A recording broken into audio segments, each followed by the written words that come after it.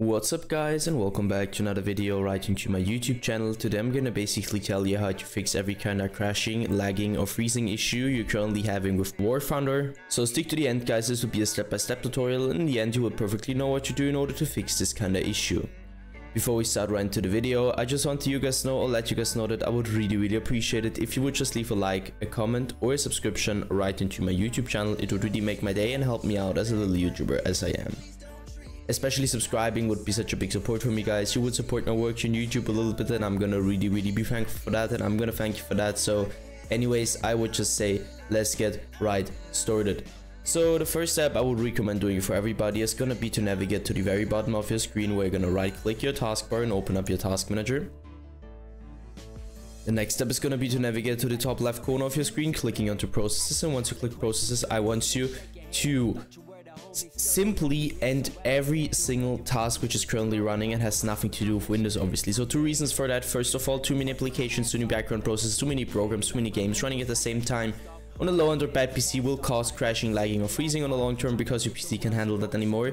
And the second reason like it was for me, there are some applications, don't ask me why, which are currently third party in your game causing it to crash to freeze in some way. So just trust me and end every single process.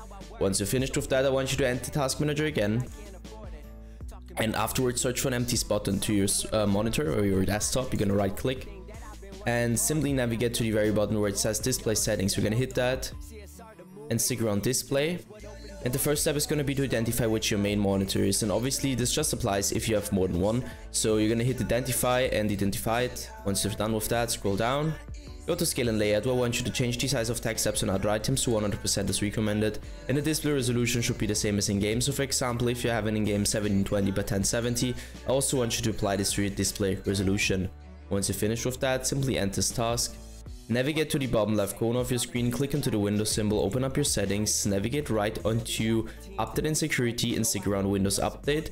Where I want you to click into check for updates because I know guys it's gonna sound a little bit basic but trust me updating every single driver you could possibly update on your PC will help you a lot with every kind of issue you're currently having and also with crashing, lagging or freezing. So just trust me and download the latest version of Windows and once you finish with that and this task, navigate right onto your uh, graphics card, driver, application or use the browser for that and download the latest version of your driver just to provide the best possible performance in general for your PC.